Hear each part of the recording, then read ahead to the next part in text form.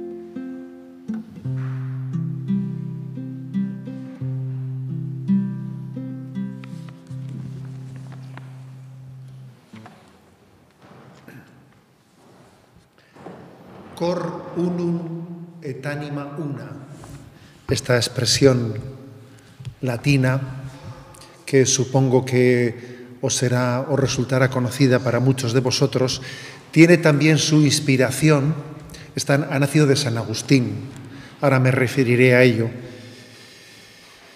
pero tiene su inspiración en el libro de los Hechos de los Apóstoles, en el capítulo cuarto que ha sido proclamado en la liturgia del día de hoy. Del grupo de los creyentes todos pensaban y sentían lo mismo. Fijaros bien, todos pensaban y sentían lo mismo. Lo poseían todo en común y nadie llamaba suyo propio nada de lo que tenía. Nos pinta, eh, nos, nos describe una comunidad cristiana, una primera comunidad cristiana unida. Pensaban, sentían lo mismo, compartían todo lo que tenían, lo ponían en común. Inspirado en esa, en, en esa descripción hay un texto de San Agustín que él dice, Sit vobis anima una et cor unum in Deu, sed vosotros una sola alma y un solo corazón en Dios. Y eso casi pasó a ser pues un lema de vida, igual que San Benito fue ora et labora, pues el lema de San Agustín pasó a ser cor unum et anima una. Ora et labora de San Benito, cor unum et anima una de San Agustín. San Agustín en toda su vida había experimentado un profundo dolor a causa de la división. Sufrió la división, padeció la división e intentó luchar contra la división toda su vida. Desde su infancia, en el seno de la familia, ya fue hijo de un matrimonio dividido. Su madre era religiosa, su padre no lo era. Bueno, pues ya obviamente no vio la conjunción de corazones que él hubiese deseado ver. También el imperio romano se estaba deshaciendo eh, por aquí y por allá. Él también, en, el deseo de buscar una verdad que diese sentido pleno a la vida, pasó por muchas sectas, por muchos intentos de explicación, que todos ellos se caracterizaban por visiones divididas, desestructuradas de la cosa, ¿no? Pues por ejemplo, él pasó durante un tiempo por las sectas maniqueas, por las sectas maniqueas que subrayan pues eh, la existencia de dos principios, el principio del bien y el principio del mal. En el, su libro de las confesiones habla de cómo tenía su corazón rompido en mil pedazos, roto en mil pedazos, pues por todo lo que suponía ese maniqueísmo, ¿no? de división dividida, dividida de la, de la existencia. De hecho, a San Agustín las pasiones, sus pasiones lo dividían internamente, lo tiroteaban por todas partes. Él se sentía esclavo del materialismo, pero al mismo tiempo su alma suspiraba por Dios y todo eso causaba una división que le hacía sufrir mucho. Era un combate duro, feroz. San Agustín sufría la división. Como digo, la sufrió incluso también hasta en la propia iglesia en aquel tiempo. Además de otras muchas herejías, estaba la herejía del donatismo, una herejía de tipo eclesial que dividía la visión de los fieles en los puros y en los que no eran puros. Nuevamente, ¿no? Los auténticos y los no auténticos, los santos y los pecadores. Era esa una nueva herejía, de nuevo, de nuevo planteando, mostrando una visión de la vida fracturada. Era el diabolos, el diablo, diablo significa el, el que divide, el que divide. El diablo es el que divide, el que divide la historia, el que divide nuestro corazón, el que tenía enfrente San Agustín, ¿no? Y entonces San Agustín, su primera tarea, su tarea central, fue la de reconstruir su corazón dividido. Tenía un corazón dividido entre el bien y el mal, entre la carne y el espíritu. La primera tarea fue reconstruir su corazón, unificarlo, para que así pudiera amar a Dios, la sabiduría, la sabiduría infinita, con un corazón indiviso, Anima una et cor unum es su bandera. Él tiene un deseo ardiente de unidad. No quiso ser hijo de la división, sino de la verdad, de la unidad y del amor. Ese es su anhelo. Su anhelo es anima una et cor unum. Aunque este adagio ha pasado más a la historia, dicho al revés, en vez de anima una y cor unum, ha pasado cor unum et anima una, pero bueno, es lo mismo, ¿no? Un solo corazón y una sola alma, una sola alma y un solo corazón. Y San Agustín se convirtió, se convirtió en un instrumento a favor de la unidad, a favor de la unidad en el seno de la Iglesia, a favor de la unidad en la sociedad. Él sufría viendo cómo el, el imperio romano se, se desmembraba, cómo venían los bárbaros, cómo la sociedad se desintegraba, cómo en la iglesia había divisiones, herejías. Y el Señor le dio un corazón que soñaba con la unidad, que aspiraba a la unidad, que se convirtió en instrumento de unidad. Así pues, yo os invito a que esta noche nos enamoremos de esta descripción ¿no? de la comunidad primitiva cristiana. El grupo de los creyentes, todos pensaban y sentían lo mismo, lo poseían todo en común. Dios mío, danos esta gracia, un solo corazón y una sola alma. ¿eh? Repito la frase de San Agustín. Sid vobis anima una et cor unum indeum. Sed vosotros una sola alma y un solo corazón en Dios. Que el Espíritu Santo nos dé esta gracia.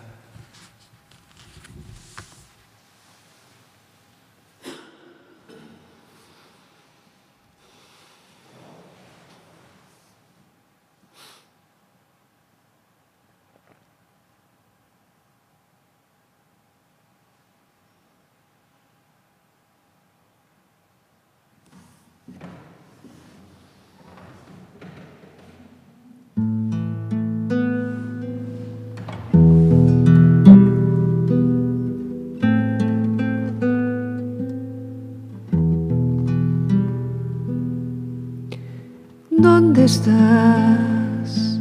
¿Por qué no respondes? Ven aquí. ¿Dónde te escondes? Cada día busco tu presencia. Es mi alma que muere de sed. Espíritu que animas el mundo, vida que late en lo más hondo, lava tú las manchas de la tierra y cúbrela de libertad. Sopla viento tú con tu fuerza, me todo aquello que es mi mundo y que ahora gira, y ahora gira en torno a ti. Sopla ahora aquí en las casas, por las calles de nuestra ciudad. Tú nos llevas hacia un punto que representa la razón del tiempo, la hora de la unidad.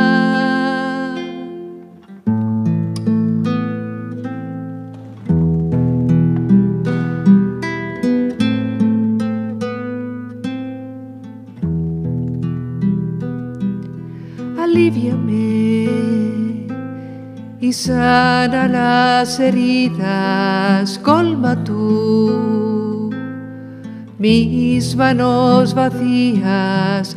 A menudo no encuentro una meta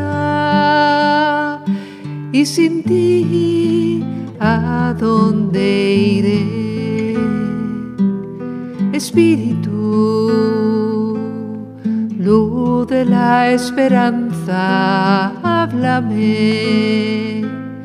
Busco tu palabra, guía el hilo de oro de mi historia y bórdala de eternidad. Sopla viento tú con tu fuerza, me transformas todo aquello que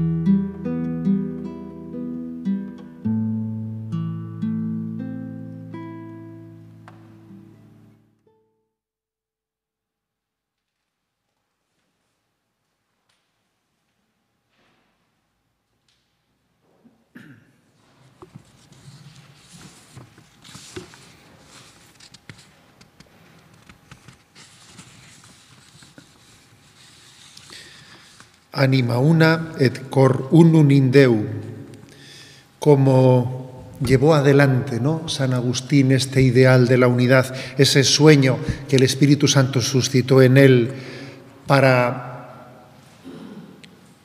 presentar al mundo, para vivir él y presentar al mundo una visión unificada, integrada de la realidad y no dividida. Todo eso fue a través de un proceso de conversión continua, de un proceso de reunificación en el único amor que es la caridad. En la caridad todo se integra. ¿Os habéis fijado un detalle, si me permitís una, pe una pequeña digresión? Como hoy en día, en el mundo político, en los discursos, etcétera, se ha sustituido la expresión bien común por el de interés general. Y parece que son sinónimos, ¿no? Bien común, interés general, pero hay un matiz muy, muy importante, porque bien común quiere decir que es el mismo bien el que es bueno para todos. Y lo que es bueno para ti tiene que ser bueno para mí, porque si es bueno para Dios es bueno para todos. El bien es común, nos unifica a todos. Sin embargo, la, palabra interés general quiere decir que, bueno, pues es interés de, los que parece que son mayoría y dejarán aplastados a los que parece que son minoría. El interés general no es lo mismo que el bien común, no, no es lo mismo. Nosotros creemos en el bien común porque hay un amor que lo unifica todo, que es la caridad. Y eso, eso acontece cuando se da un verdadero, decía San Agustín, ordo amoris, un verdadero orden en el amor. Cuando el amor se vive fundado en Cristo y teniendo a Dios como su corona. Por eso él dice, anima una et cor unum indeun una sola alma y un solo corazón en Dios. Dios es el que nos da. Cuando todo se funda en Dios, todo se unifica. Pero cuando las cosas no se fundan en Dios, cada uno tira por su lado. El interés general. Pero nosotros creemos en el bien común, que es posible porque existe un ordo amoris, existe un orden en el amor. Todas las cosas se ordenan, se integran,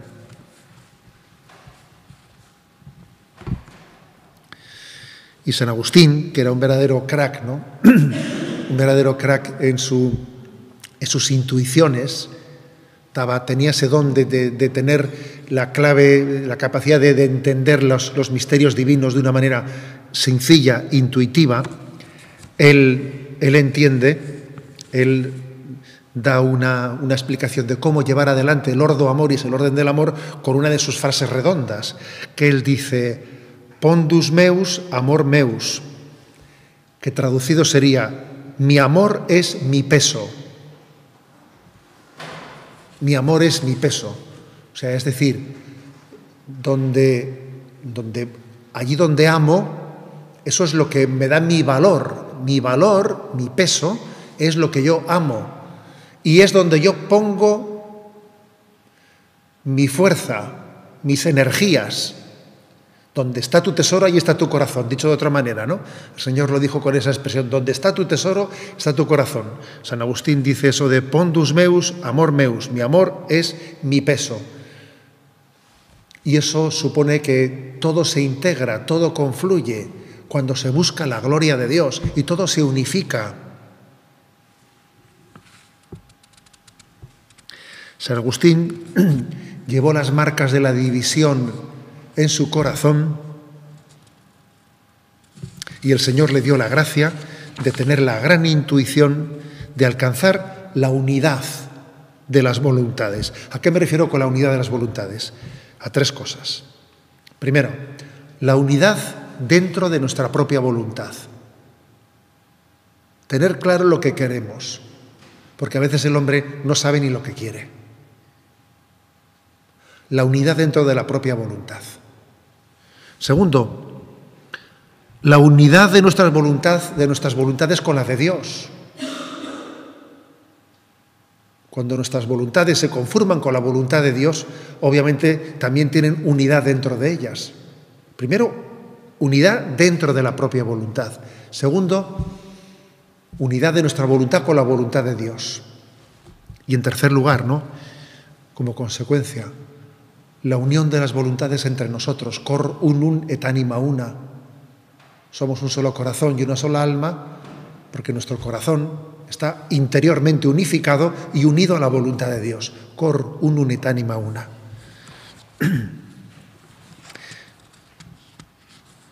Pedimos, pues, seguimos pidiendo este don en este, en este día, de este tiempo pascual, pedimos este don de la unidad con una, con una insistencia especial, ¿no? la insistencia de que Dios ordene interiormente nuestro amor, lo ordene. De manera que lo que pudiesen parecer intereses enfrentados, encontrados, mi bien, tu bien, nuestro bien, nuestro provecho, se entienda perfectamente, no como todo está unificado en el orden del amor, en el orden de la, de la caridad. Que la Virgen María, que es el, es el corazón en el que el ordo amoris, el orden en el amor, vivió la perfecta armonía, ¿no? El corazón de María es como un paraíso es como un paraíso en el que nunca existió división, en el que siempre reinó la armonía, la unidad interior, el corazón inmaculado de María, ¿no? Es el reino de la unidad. A ella le invocamos pidiendo ese don para cada uno de nosotros.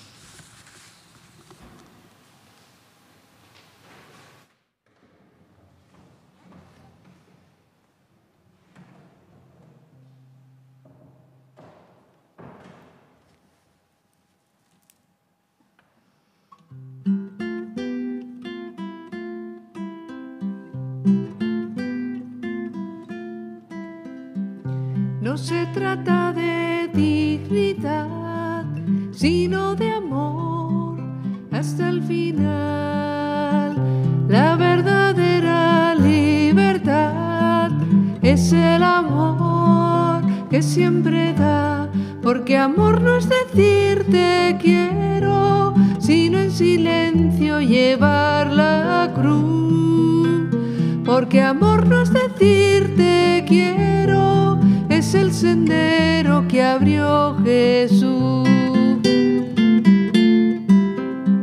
Se habla de solidaridad, pero el amor va más allá. Se predica fraternidad, sin el amor es vanidad. Por amor yo todo lo creo, todo lo espero y he de alcanzar. Por amor el mundo es pequeño y hasta los sueños son realidad. No se trata de imaginar que es el amor, sino de amar, dar la vida para encontrar solo el amor que hay que sembrar. El amor es como un lucero que me ilumina en mi caminar. Por amor yo todo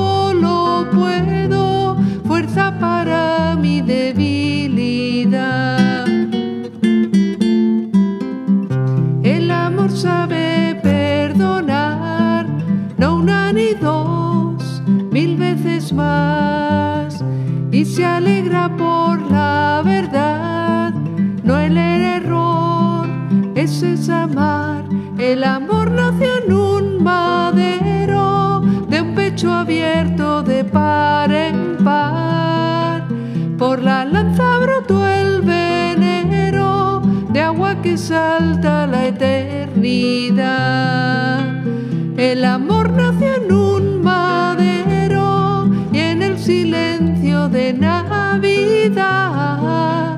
Una virgen llevó en su seno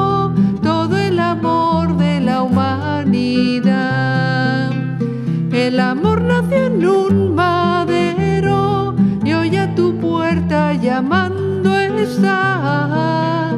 Quiere ser el tu compañero, quiere contigo resucitar.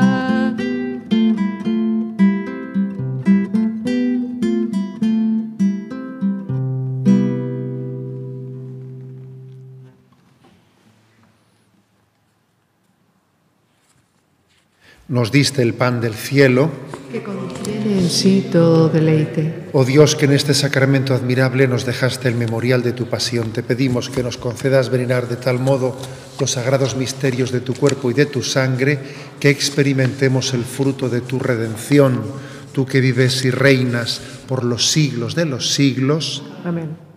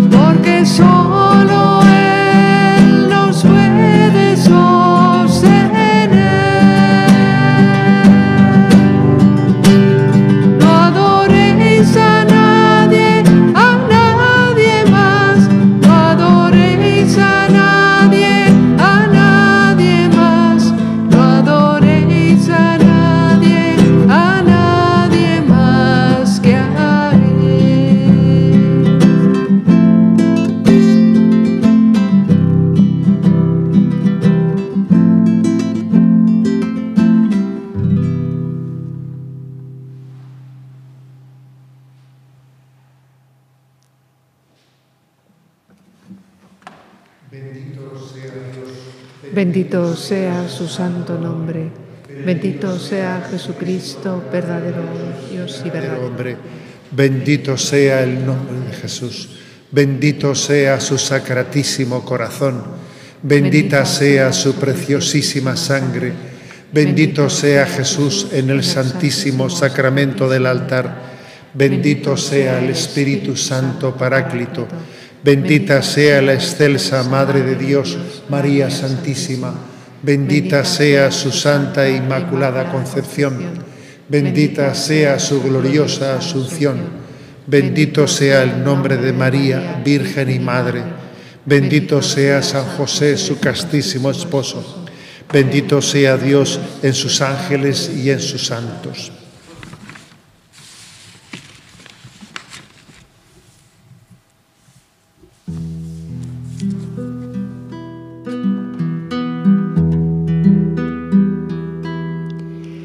Señor ha estado grande, a Jesús resucitó. Con María sus hermanos entendieron qué pasó, como el viento que da vida, el Espíritu sopló y aquella fe incierta en firmeza se cambió. Gloria al Señor,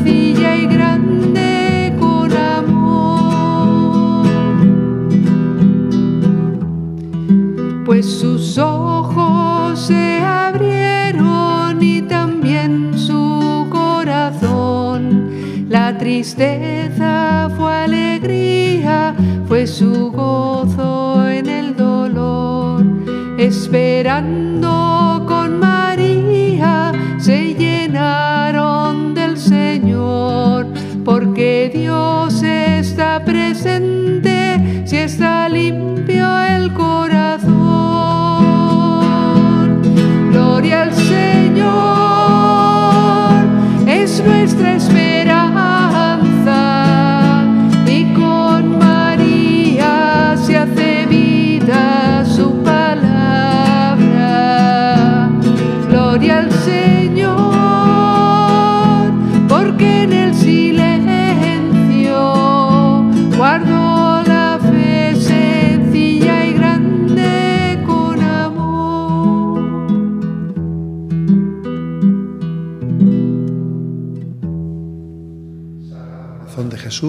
En ti vos- confío. Dulce corazón de María, sed la salvación